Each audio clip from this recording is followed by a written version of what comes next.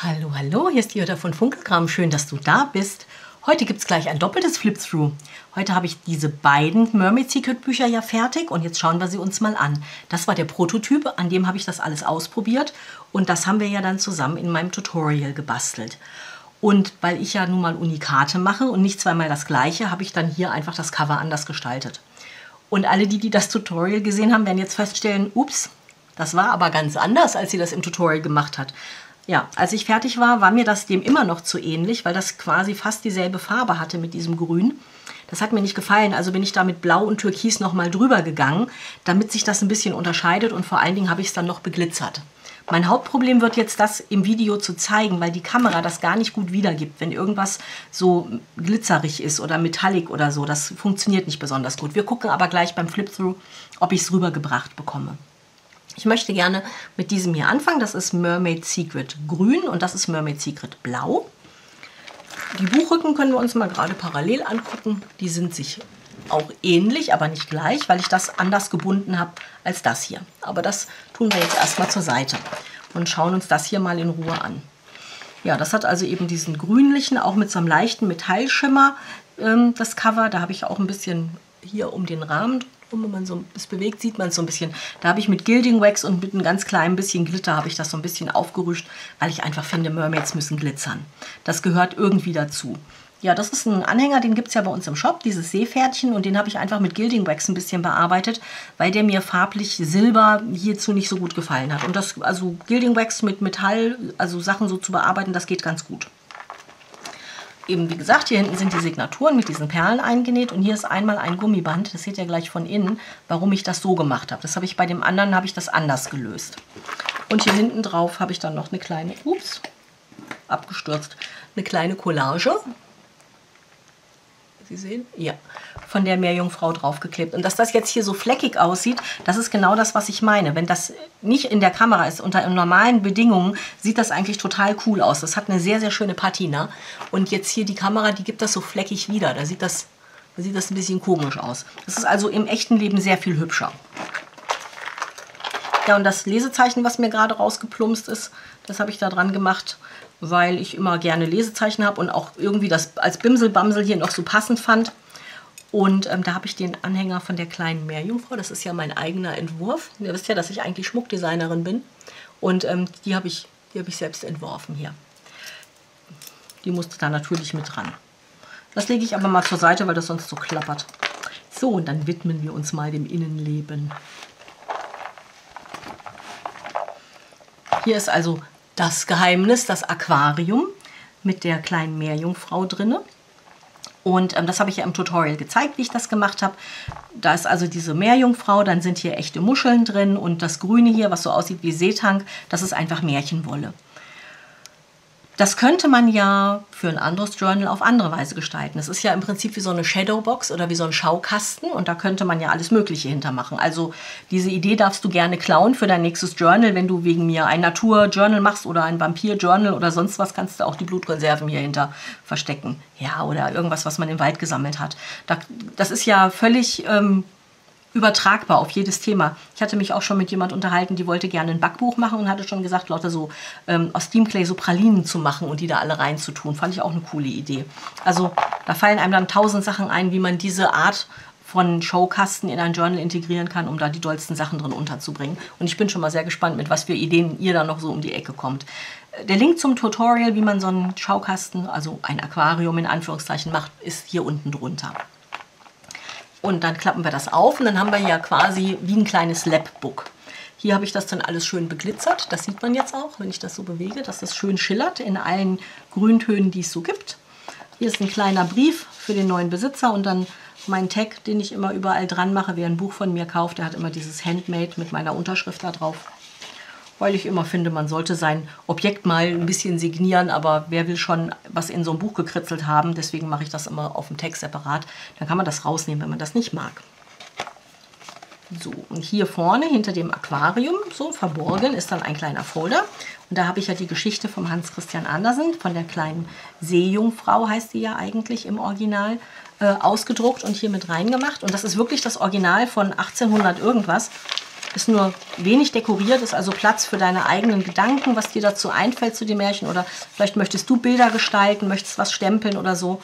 Da gibt es dann halt auch ein bisschen, bisschen Raum noch, damit man das so machen kann. Ne? Mir haben ein paar Leute gesagt, dass sie das Originalmärchen so traurig finden. Ich finde das tatsächlich gar nicht. Ähm, ganz unterschiedliche Interpretationen, glaube ich, von meiner Seite, wie das endet. Der Film von Walt Disney, ähm, Ariel, der basiert hier drauf. Der basiert auf dieser Geschichte. Die haben das Ende nur ein bisschen abgeändert, weil die das halt für Kinder so Hollywood-romantisch machen wollten. Naja, das muss halt jeder für sich selbst entscheiden, ob er das so gut findet oder nicht. Ich bin mal gespannt, wenn diese Geschichte denn jetzt vielleicht mal im Original gelesen wird, wie ihr das dann so einschätzt. Ich finde das eigentlich, mir gefällt das Ende eigentlich ziemlich gut. Dann haben wir hier noch eine kleine Geheimtasche für geheime Briefe oder irgendwelche weiß ich was, Dokumente, irgendwas, was nicht jeder gleich sehen muss, kann man da hinten gut verbergen. Das Cover, das habe ich gestempelt. Ich überlege gerade, wie diese Stempelfirma heißt, wo dieser Stempel her ist. Pink irgendwas. Aber ich... Frau Wittle, können Sie eine Schleife binden? Nö, können Sie nicht. oh, wie peinlich. Also echt. Ich habe gelernt im Kindergarten, wie man sich die Schuhe zubindet. Das sollte man doch auf den Junk Journal übertragen können. Jetzt. Das ist, weil der Faden hier doppelt ist. Jetzt ist schön. So, so ist hübsch, so kann man es lassen. Und hier hatte ich ja dann die drei Signaturen eingebunden, als ich dieses entworfen habe. Und das mit diesen Perlen gemacht. Und dann habe ich halt festgestellt, das sieht irgendwie ein bisschen komisch aus, weil diese Signaturen sind ja ziemlich auf einer Seite und hier war dann alles nackig. Das hat mir nicht gefallen. Also habe ich da einfach ein Gummiband mit eingearbeitet und da kann man die Fische so ein bisschen, hat man was zum Spielen. Das fand ich eigentlich ganz lustig. Die habe ich also mit Absicht nicht fixiert, weil ich fand, die müssen ja schwimmen. Spielkind halt, ne? Und ähm, habe dann gedacht, jo, irgendwas kann man dann hier noch drin unterbringen. Und ich habe mich für so einen Umschlag entschieden. Da habe ich meine ganzen, ganzen Restchen, die ich noch hatte von der Gestaltung von meinen ganzen Mermaid-Büchern, da hatte ich nämlich noch jede Menge Sticker und Die-Cuts und lauter so ein Kram. Und das habe ich dann hier alles, alles mit reingemacht und habe gedacht, der neue Besitzer freut sich. Dann hat man gleich so ein Starter-Paket zum Dekorieren. Das ist, glaube ich, ganz schön. Und wenn nicht, kann man das ja auch hier entfernen und kann dann vielleicht noch eine kleine Signatur einbauen oder irgendwas anderes.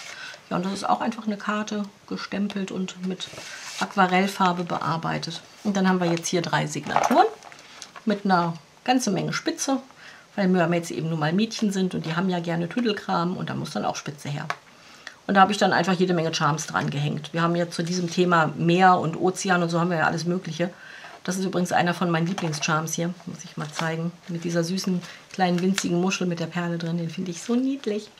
Und darum habe ich die auch alle schön mit der Sicherheitsnadel da so dran gemacht. Dann kann man ihn nämlich auch abmachen und an der Kette tragen, wenn man das möchte.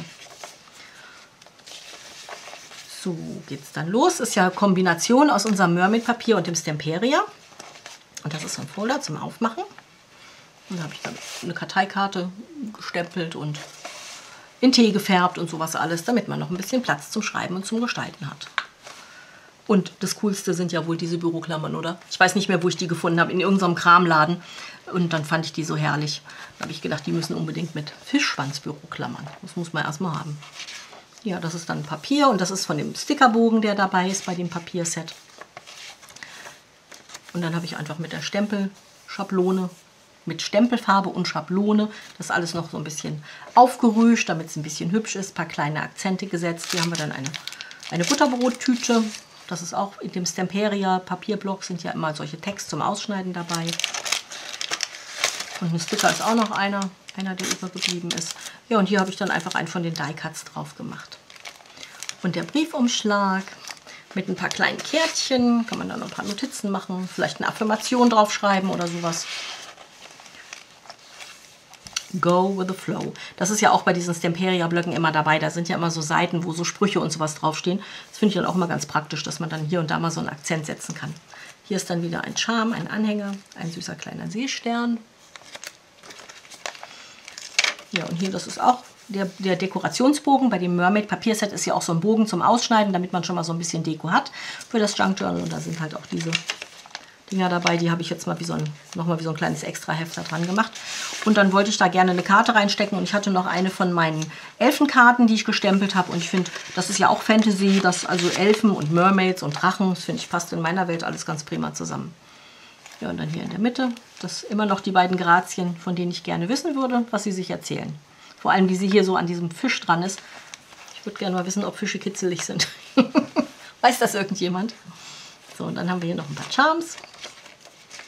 Ja, und das Papier, das habe ich mit unseren Pigmenten, die es bei uns im Shop gibt, eingefärbt. Ne? Das habe ich erst im Tee gebadet und als das noch nass war, habe ich die einfach so da drauf gekippt. Dazu gibt es ja auch ein Papierfärbevideo von mir, wie man dann diese irren Effekte hinbekommt. Und das klappt meistens am besten, auch wenn ihr irgendwie Aquarellfarbe oder Wasserfarbe oder sowas benutzt und ihr ähm, sprüht das einfach irgendwie drauf auf das Papier, da mal Desinfektionsmittel drauf sprühen.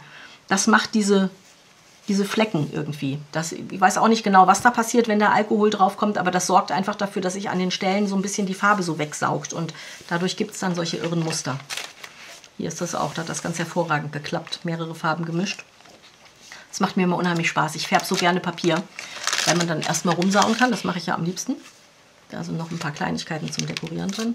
Und vor allen Dingen, weil man vorher ja nie weiß, was passiert. So, ich liebe das ja, wenn solche zufälligen Ergebnisse dann so cool sind, finde ich das immer total toll.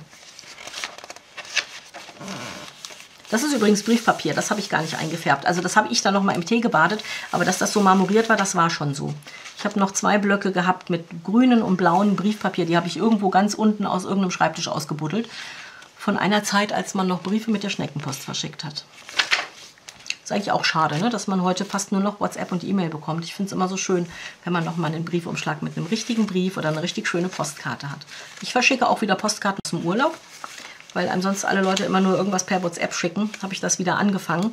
Und ähm, ja, wird auch immer sehr bejubelt, muss ich sagen. Also meine Freunde und auch meine Kinder und so, die finden das dann immer ganz toll, wenn dann mal nochmal wieder eine richtige Postkarte mit einer echten Briefmarke kommt. Ich finde, das ist eine Tradition, die man wieder aufleben lassen sollte. Nicht immer alles nur digital. Auch wenn man aus dem Urlaub zurück ist und dann die Karten erst eine Woche später kommen, macht ja nichts. Macht ja trotzdem Spaß. So viel Platz ne, zum Schreiben und zum Selbstgestalten. Ihr sollt ja da auch euer eigenes Ding draus machen können aus diesem Buch. Und dann habe ich hier noch eine Karte. Ich habe ein paar neue äh, Prägefolder bekommen zum Ausprobieren. Die finde ich sehr schön. Das war das erste Mal, dass ich einen 3D-Prägefolder hatte. Und die sind also echt cool. Da sind wir schon am Überlegen, dass wir die vielleicht ins Sortiment nehmen sollten, weil die einfach wirklich toll sind. Ja, hier haben wir dann nochmal ein schönes, ganz altmodisches Bild, kleine Collage, die ist auch in dem Stickerbogen dabei. Ach ja, und hier kommt die Postkarte von Waterhouse. Und ich fand, zu diesem schönen altmodischen Bild muss auch eine schöne altmodische Spitze. Das ist von William Waterhouse und das Bild heißt Hylas and the Nymphs. Und Hylas war ja irgend so ein irgendein Sohn von irgendeinem Gott. Ich bin in der Mythologie da nicht so ganz, nicht so fit. Auf jeden Fall ähm, haben die Ladies versucht, ihn ins Wasser zu locken. Ich müsste jetzt allen Ernstes nochmal nachlesen, ob sie es geschafft haben. Aber ich finde dieses Bild herrlich, wie sie ihn also angucken. Die haben einen Blick drauf. Ja, also, na, kriegen wir ihn jetzt hier in den Teich? Finde ich also herrlich. Gefällt mir unheimlich gut. Ich mag alte Gemälde. Finde ich irgendwie ganz toll.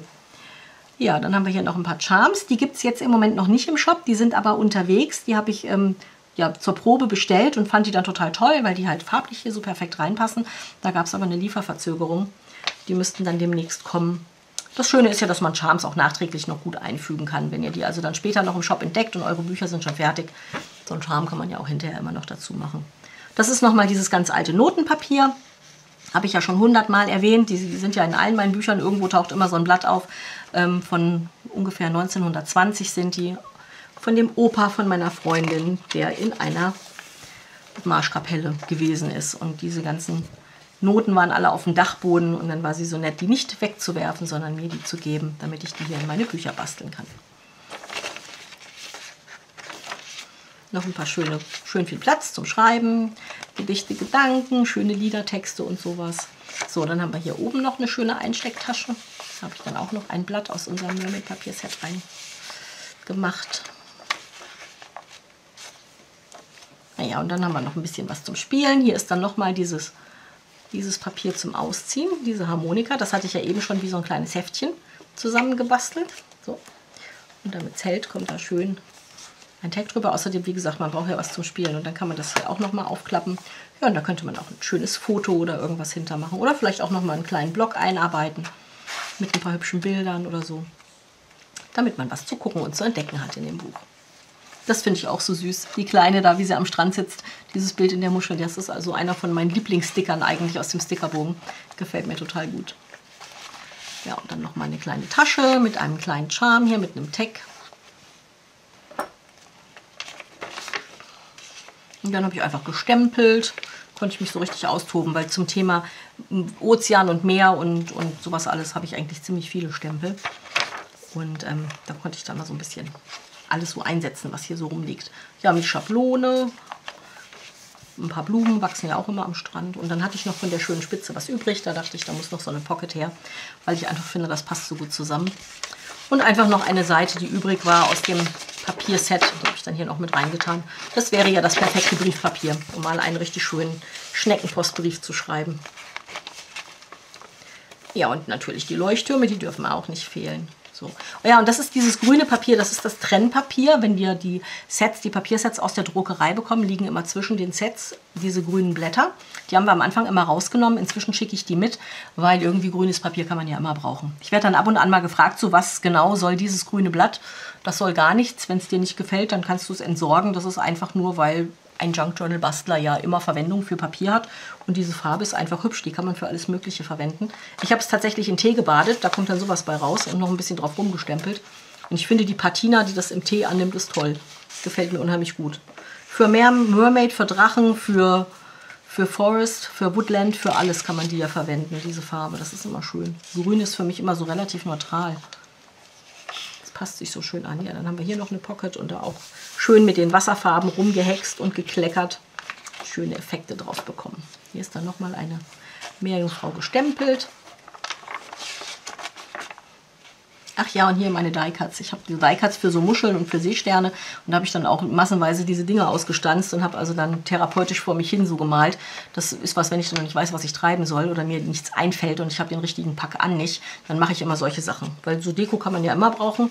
Und dann tüdel ich so vor mich hin und während ich dann so dran bin, dann sortiere ich meinen Kopf. Dann kriege ich danach was Vernünftiges zustande. Das ist immer so, ja, Jutta, Jutta, Juttas Therapie. Andere Leute machen Yoga, ich mache dann sowas. Ja, und dann sind wir hier nochmal am Ende angelangt. Eine Seite zum Hochklappen. Da ist nochmal eine kleine Büroklammer. Und nochmal hier schön mit der Schablone ein bisschen eingefärbt. Und ganz zum Schluss nochmal eine, eine Folie. Ups, da fehlt was. Hier ist eine Transparentpapiertasche, da ist nichts drin. Ihr wisst, immer wenn ich eine leere Tasche entdecke, da kommt noch was rein. Also eine Überraschung für den neuen Besitzer ist mal wieder fällig. Ja, und dann noch eine von meinen Karten. Da habe ich dann einfach gestempelt und gemalt. Das ist was, das mache ich einfach unheimlich gerne. Ich finde immer so Karten könnte ich den ganzen Tag bemalen. Das ist sowas, da treibt einen nichts um, da experimentiert man rum, da hängt nichts von ab, das ist einfach schön. Okay, das war die erste Nummer. Wichtig ist jetzt, wenn man ein solches Buch hat, ein, ein ja quasi Labbook, wenn man da drin schreiben möchte und man klappt es nicht richtig auf, dann kriegt man hier ein Problem. Deswegen ist es immer wichtig, das ganz aufzumachen. Ne? Und dann legen sich die Seiten auch flach, dass man gut drin arbeiten kann. Das war also dann Mermaid Secret Grün. Und dann gucken wir jetzt mal bei Blau rein. Das ist das, was ich eben in dem Tutorial zusammengebastelt habe. Auch hier ist ein Lesezeichen mit drin. Das habe ich ein bisschen anders gemacht. Da habe ich alles an Perlen reingewurschtelt, was hier so rumlag. Da ist auch eine von den süßen kleinen Meerjungfrauen dabei als Anhänger. Auch das lege ich jetzt mal zur Seite. So, und hier sind jetzt ist kein Gummiband, sondern hier sind jetzt viermal wie eingenähte Signaturen. Nur dass eins davon gar keine Signatur ist. Werdet ihr gleich sehen. Das ist von hinten quasi nackig, weil ich das so schön beglitzert habe, was man jetzt gar nicht wirklich sieht. Ich versuche mal ganz nah ranzukommen, nicht erschrecken. Kann man es jetzt erkennen? So ein bisschen, ne? Hier, hier sieht man das so ein kleines bisschen, dass da überall so Glitzer drauf ist. Es sieht jetzt vor der Kamera tatsächlich wieder fleckig aus. Aber das ist es nicht. Es ist, also in Wirklichkeit sieht es wirklich richtig toll aus und es schillert so richtig schön. Das ist immer schade, dass man das mit diesem Kunstlicht irgendwie nicht hinbekommt. das muss mal aus dem Weg hier. Sonst habe ich keinen Platz zum Blättern. Ja, und vorne drauf ist eben auch wieder die Mischung aus unserem Stemperia-Papier und einem Bild von uns, von unserem Mermaid-Set. Hier habe ich jetzt die großen Deko-Ecken drauf gemacht. Jetzt mal zum Vergleich. Hier haben wir die kleinen. Gibt es ja große und kleine inzwischen von. Und auch hier ist ein Bügelverschluss dran. Und da habe ich tatsächlich, ich nehme einfach ein Spitzenband und dann kann man das da drauf nähen oder man kann das mit Mini-Breads befestigen. Die Spitze ist so fein, da hält das mit den Breads nicht so gut. Da habe ich es einfach dran genäht. Und hinten nehme ich dann zwei, drei, vier, je nachdem wie groß sie sind, von diesen Breads. Das sind jetzt keine Mini-Breads, man sieht das nicht so, aber die sind größer. Und das hat dann so gehalten. Meistens nehme ich drei oder vier, um das hier schön zu fixieren. Da wurde ich nämlich gefragt, wie ich das mache. Wie ich das vorne und hinten dann festmache hier mit diesem Band. Und wenn er sowas macht mit einem Bügelverschluss, mit einem Band, denkt dran, wenn ihr noch viel in euer Journal reinpackt, dass das noch wächst. Das heißt, das muss ein bisschen Spiel haben. Das darf hier nicht zu eng sein. Ne? Das muss ich hier noch ein bisschen ausweiten können, wenn das Journal noch ein bisschen größer wird. Ja, sonst könnte man auch das Band erneuern, aber muss ja nicht unbedingt sein. So, dann schauen wir mal hier rein. Da haben wir jetzt, wenn wir das so halten, dass es nicht so reflektiert, unseren Schaukasten unser Aquarium. Und hier ist jetzt keine Meerjungfrau drin. Hier habe ich mich jetzt für so eine Strandlandschaft im Prinzip entschieden. Das ist ein Papier aus unserem Set. Und dann habe ich einfach Muscheln, die ich an der Nordsee mit Roland gesammelt habe, reingemacht. Hier ist eine Möwenfeder. Und hier ist auch, das ist auch ein Stück Muschel und ähm, ja, Seegras wieder eben Märchenwolle und einer von unseren schönen Stickern. Aber das seht ihr ja in dem Tutorial. Das ist ja das, was ich im Tutorial mit euch zusammengebastelt habe. Und außenrum natürlich ordentlich beglitzert. Hier sieht man es auch so ein bisschen, dass es reflektiert. Und da hatte ich keine Wassertropfen drauf gemacht. Warum habe ich das nicht gemacht? Ganz ehrlich, ich habe es vergessen. das wollte ich in dem Tutorial eigentlich zeigen, aber ich war so beschäftigt, das war so viel und das war so aufwendig und habe ich komplett vergessen, dass man da noch Wassertropfen drauf machen kann. Ne, aber wie gesagt, nehmt Window Colors, nehmt Klarlack, nehmt Nagellack wegen mir, irgendwas. Alles, was klar trocknet und so ein bisschen Struktur hat und dann habt ihr eure Wassertropfen. Kein Problem. So, hier geht das dann auf. Und hier vorne ist dann eine Karte drin, die ich gestempelt habe und mein Tag. Und auch hier ist noch ein etwas zum Aufklappen und da ist dann auch noch mal ein kleiner, den fuddel ich da jetzt nicht raus, den kriege ich vor der Kamera wieder nicht rein, aber da ist auch noch ein kleiner Tag drin.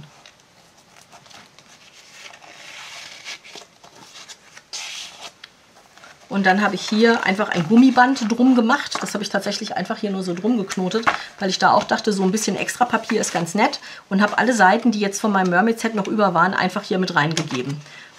Eine kleine Tasche mit einer, mit einer Karte. Weil ich dachte, so extra Papier kann man immer brauchen. Das könnte man ja auch zerlegen. Das muss man ja gar nicht so als Heft benutzen. Deswegen habe ich auch nicht viel dekoriert. Ne, Im Zweifelsfalle einfach auseinandernehmen und dann hier in das Ganze noch mit einbauen. So. Hier ist dann das Briefchen an den neuen Besitzer einer schönen Tasche. Und auch hier haben wir den Folder, in dem sich die Geschichte von der kleinen Meerjungfrau befindet. Habe ich also hier auch gemacht, ein bisschen anders ausgedruckt. Ne, da kann man die dann nochmal nachlesen. Und eine Pocket. Und diese Karte, die habe ich gestempelt und geprägt und die habe ich also mit Absicht jetzt einfach mal sozusagen nackig gelassen, weil ich dachte, vielleicht hat die neue Besitzerin oder der neue Besitzer ja Spaß, das dann jetzt mal anzumalen und da selber was Schönes draus zu machen. Nach deinen eigenen Vorstellungen das Ganze zu gestalten. Ja, und hier ist dann auch nochmal eine, eine Tasche. So einfach mit einem, mit einem Tag für irgendwelche wichtigen Dinge, die man so ein bisschen verbergen möchte. Und auch hier sind drei Signaturen drin. Und hier seht ihr, dass ich nämlich diese vierte, was ich vorhin sagte, dass das vierte hier ist. So, das sind ja vier. Die habe ich hier einfach, das habe ich hier einfach eingenäht. Und ich habe es auch einfach so gelassen, weil ich dachte, das überlasse ich dem neuen Besitzer, ob du da jetzt Spitze drüber kleben möchtest, ob du das so lassen willst, ob du da vielleicht irgendwelche Charms dranhängen möchtest, was auch immer dir einfällt. Ja, ist ja dann dein Buch. Da machst du dann mit, was du gut findest. Auch hier sind dann wieder jede Menge von diesen kleinen Charms, die wir uns eben alle schon angeguckt haben dran. Und da habe ich auch wieder die Spitze schön in allen Wasserfarben dran ge gebastelt. Und dann haben wir noch eine schöne Karte. Ich sagte, ich habe zum Thema ähm, Wasser und Meer und Ozean alle möglichen Stempel. Und mir fällt immer noch nicht ein, wie diese Firma heißt, die diesen irrsinnigen Stempel machen.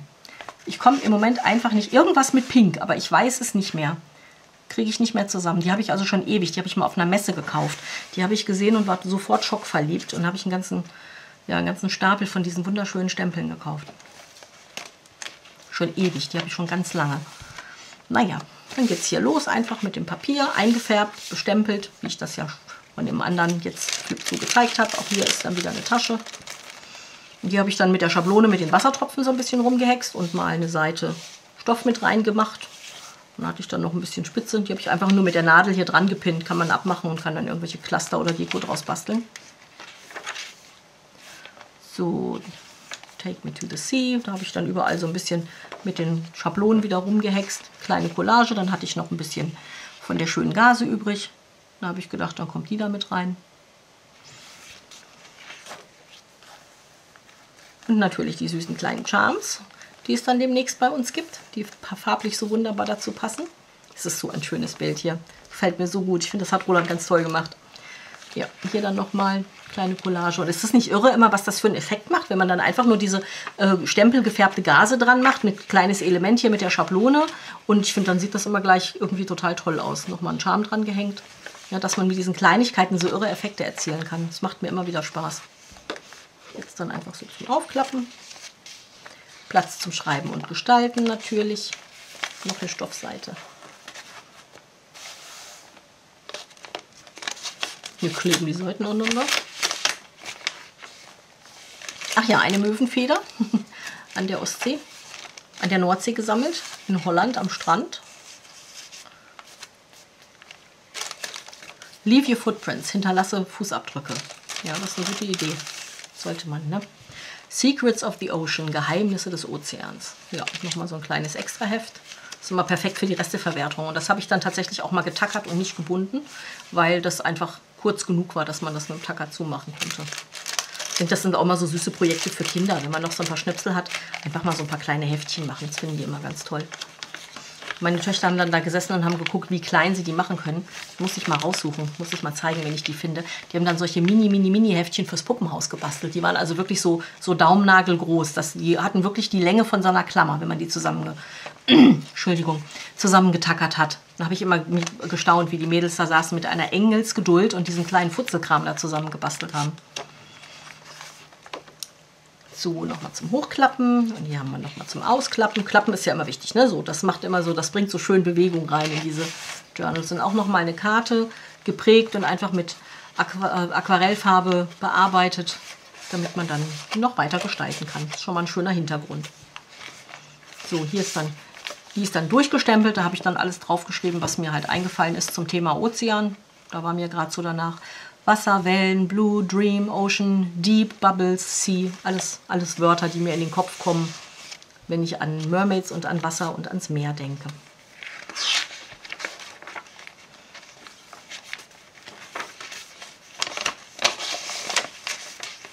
Ach ja, da war dann noch ein kurzes Stück dabei.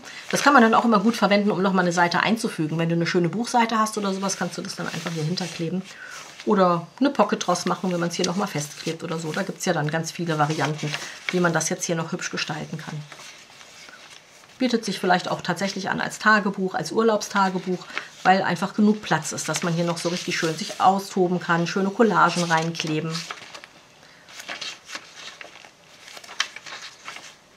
Einfach das zu deinem eigenen Werk machen. Das ist, glaube ich, das, was mir immer am wichtigsten ist. Ich finde, ich möchte immer gerne die Grundlage liefern. Ich mache also total gerne diese Bücher, aber ich möchte immer, dass die Person, die dieses Buch bekommt, dann da wirklich auch ihrs draus macht und mich eigentlich nur so im Hintergrund als Grundlage verwendet, um dann wirklich dein Buch für dich mit deinen Gedanken, Gedichten, Lebensmomenten, alles, was dich so umtreibt, dass du das hier drin unterbringen kannst. Und hier habe ich noch was ganz Cooles gefunden. Ich habe nämlich geguckt, ob ich ein Gedicht finde irgendwie zum Thema Mermaid oder so. Und da habe ich aber nichts Gescheites gefunden. Und ähm, ich lese euch mal nur den, das letzte hier vor. Das ist von Goethe. Da hat sich nämlich für mich, kennt ihr so Aha-Momente, dass ihr so Sachen, die ihr so hört oder sagt oder so und du, man weiß gar nicht, wo das herkommt und irgendwann schnappst du was auf und denkst so, ah, deshalb. Mhm, gut. Das Wasser rauscht, das Wasser schwoll, netzt ihm den nackten Fuß. Sein Herz wuchs ihm so sehnsuchtsvoll, wie bei der Liebsten groß. Sie sprach zu ihm, sie sang zu ihm, da war's um ihn geschehen. Halb zog sie ihn, halb sank er hin und ward nicht mehr gesehen. Das ist aus der Fischer von Goethe. Und dieses halb zog sie ihn, halb sank er hin. Diesen Satz, den kenne ich also schon von, von, von Kindestagen an. Wenn man jemanden so halb gezwungen hat, wurde das bei uns immer so gagmäßig gesagt. Aber dass das aus dem Gedicht von Goethe ist, ja, da musste ich jetzt erst mal 50 Jahre alt werden, um das 52, um genau zu sein, äh, um das irgendwie ja, rauszufinden. Und das fand ich irgendwie ganz toll. Das ganze Gedicht ist sehr schön von dem Fischer am Wasser. Aber das kann, kann man sich dann in Ruhe durchlesen, wenn man dieses Journal dann ergattert hat. Hier haben wir dann noch eine kleine Tasche mit meinen CD-Hüllen. Da habe ich auch schon eine Anleitung zu gemacht, wem das gefällt. Kann ich auch noch einen Link unten drunter machen, könnt ihr euch angucken. Wie man sowas macht, ist ganz einfach und macht totalen Spaß. Und setzt immer so richtig schöne Akzente. Ja, dann noch ein paar von diesen Karteikarten in Tee gebadet und gestempelt. Irgendwas stimmt hier nicht. Ist immer, wenn man die Spitze da dran klebt und dann die Seiten nicht gleich trennt, ne, dann klebt das immer so ein bisschen beim ersten Durchblättern danach. So, hier dann noch mal ein bisschen gestempelt. Ja, das ist auch, sieht das nicht aus wie der Himmel, wenn man so an der, am Strand steht und dann so guckt, so. Gut, der ist jetzt vielleicht nicht unbedingt so grün, aber ich finde, das sieht so wolkig aus. Das gefällt mir total gut. Manchmal klappt das mit diesen Pigmenten einfach super cool. Man kriegt die tollsten Effekte. Und manchmal ist es so, ja, auch ganz nett. Und das waren jetzt so Seiten, wo das also wirklich richtig toll funktioniert hat. Da war ich ziemlich begeistert, als ich mit dem ganzen Grün darum gehetzt habe. Meine leere Tasche. Frau Whitley, das geht nicht. Okay, da kommt natürlich noch was rein, das ist ja klar.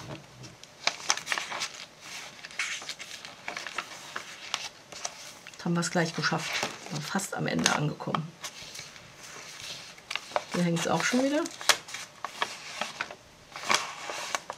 Was stimmt hier nicht? So, jetzt stimmt's. Ja, das ist diese nochmal von dieser neue 3D-Folder, die den ich da ausprobiert habe, wo ich dann ja schon sagte, ich will sehen, dass wir die in den Shop bekommen, weil ich die einfach nur total toll finde. Für die Kartengestaltung.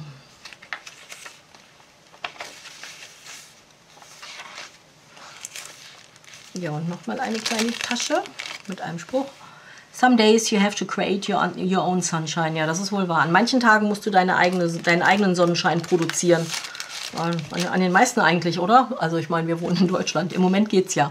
Aber wir haben ja jetzt eine sehr lange Phase gehabt, wo wir wirklich uns selber die Sonne irgendwie machen mussten. Wieso ist da eine Büroklammer? Ah, fürs Foto. Die gehört da gar nicht hin. Und auch hier ist noch mal eine Tasche, in der nichts drin steckt. Auch da werden wir noch was drin unterbringen, das ist ja klar. Wird ja, bevor das dann verschickt wird, sowieso noch mal komplett durchgeblättert und geguckt, dass überall in den Taschen was drin ist, auch während dem Tutorial, also während den äh, Flipsus nehme ich ja dann Sachen raus und so, dass das alles wieder richtig schön eingeräumt ist und im perfekten Zustand beim neuen Besitzer ankommt. Hier kleben überall die Dinger, da hatte ich es wieder zu eilig. Klebt das noch ein bisschen vom Spitze einkleben. So, dann haben wir hier noch einen netten kleinen Briefumschlag.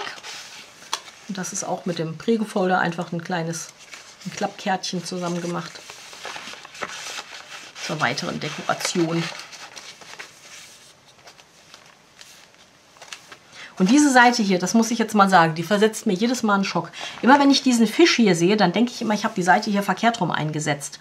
Weil wenn ich den angucke, liegt der für mich auf den ersten Blick immer auf dem Rücken. Ich weiß auch nicht warum. Da falle ich jedes Mal drauf rein. Dabei hat er ja die Schwimmflossen unten und die gehören ja eigentlich nach oben. Aber für mich ist das irgendwie eine optische Täuschung. Da habe ich mich beim ersten Mal richtig erschrocken, als das Buch fertig war. Dann habe ich gedacht, Aubacke, jetzt hast du die Signatur verkehrt rum eingenäht. Nein, habe ich gar nicht. Ich habe nur verkehrt geguckt. so, und nochmal eine schöne kleine Meerjungfrau. Und hier hinten haben wir dann noch eine kleine Besonderheit. Einmal zum Aufklappen. Dahinter verbirgt sich nochmal ein kleiner Schreibblock für Notizen. Vielleicht möchtest du dir aufschreiben, die Ideen, was du hier so gestalten wolltest oder so, ein paar Notizen machen, damit du es nicht wieder vergisst. Und wenn die Blätter vollgeschrieben sind, kannst du die natürlich auswechseln. Einfach den Mini-Brett hier aufmachen und neues Papier schneiden und da rein. Das ist, glaube ich, eine ganz gute Sache. Und dann haben wir hier nochmal den kleinen Umschlag. Die gibt es auch bei uns im Shop. Den habe ich einfach angemalt. Der ist ja sonst einfach sowieso Craft Paper von der Farbe her. Und da habe ich meine ganzen Sticker, die ich noch über hatte und sowas, habe ich einfach alles hier reingetan. Damit genug Dekomaterial vorhanden ist. So, das waren sie, die zwei. Die Mermaid Secrets. Und jetzt falle ich wieder auf mich selber rein. So funktioniert es nicht. Erst dazu machen. So, dann ganz zu. Aber ich möchte jetzt noch einmal, ich gehe mal jetzt ganz weit zurück. So. Gucken wir mal, ob wir das hinkriegen. Ich möchte die beiden nochmal nebeneinander legen. Noch einmal zum Gucken und zum Vergleich. So. Das sind also die beiden unterschiedlichen Gestaltungsvarianten, die ich mir ausgesucht habe für mein Aquarium. Und ähm, ja, ich bin sicher, dir werden noch tausend Dinge einfallen, wie du das dann machen kannst. Das ist also sind die beiden Geheimnisse der Meerjungfrauen. So, das war ja jetzt unheimlich viel zum Gucken. Ihr wisst ja, Ideen klauen, ne? erlaubt und gewünscht. Was auch immer du hier siehst, was auch immer dir gefällt, du darfst es gerne für dich und für dein Journal verwenden. Ich freue mich, wenn ich davon was zu sehen bekomme, entweder auf Facebook, auf Instagram oder vielleicht schreibst du mir sogar eine E-Mail an die Bastelwerkstatt.funkelkram.de. Da ist meine E-Mail-Adresse. Werde ich immer wieder gefragt. Sag, sag die nochmal. So, warum halte ich die verkehrt rum? Weiß ich auch nicht. So ist sie richtig rum. Und ähm, ja, ich antworte so schnell ich kann. Ich kriege inzwischen relativ viel Post und ziemlich viele Fotos. Ich gebe mir also immer Mühe, innerhalb von kürzester Zeit darauf zu reagieren. Und wenn das mal ein bisschen dauert, dann seid so gut und habt Verständnis dafür, diese ganzen Tutorials und das alles zu machen. Das ist ja sehr zeitaufwendig. Und ähm, ich gebe mich dran, wann immer es geht. Wenn dir das jetzt gefallen hat und ähm, dann hinterlass mir gerne einen Daumen hoch. Schreib mir super gerne einen Kommentar. Sag mir doch mal, welches von den beiden gefällt dir denn eigentlich besser? Gefällt dir eins besser oder findest du sie gleich schön oder unterschiedlich schön? Wenn du eine Idee dazu hast, was du in so eine Shadowbox noch reinbasteln würdest, jetzt nicht Mermaid, sondern irgendein ganz anderes Journal, würde ich das auch total gerne hören und noch viel lieber würde ich es irgendwann sehen. Also wäre das ganz toll, wenn du das dann irgendwo teilen würdest. Abonniere gerne den Kanal, dann kriegst du noch mehr von solchen Videos zu sehen. Und jetzt würde ich sagen, ran an die Basteltische, nehmt die ganze Inspiration und macht irgendwas ganz Tolles. Habt einen schönen Sonntag. Bis zum nächsten Mal. Ciao.